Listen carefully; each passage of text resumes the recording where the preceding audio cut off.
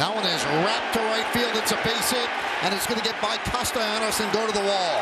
Stanton will score. They're waving home Torres. The throw is not in time. Court High drive, right center, going back Santander, track, wall, see ya, home run Franchy, a three-run shot, and it's 4-3-0.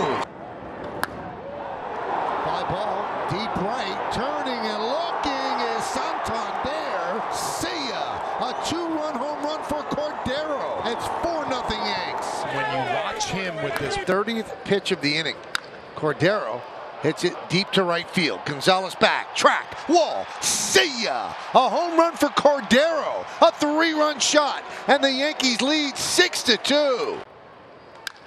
That one's crushed into center field. There it goes. Cordero does it again. He ties the game at three. easy power from the left side. And that was an absolute Driven to center field and deep. Going back is Moniak. Still back. Track. Wall. See ya. A home run for Cordero. Well, Franchy Cordero's got just about as much power as anybody out there. Driven to right field and deep. Melendez turns and looks. See ya. A home run for Cordero.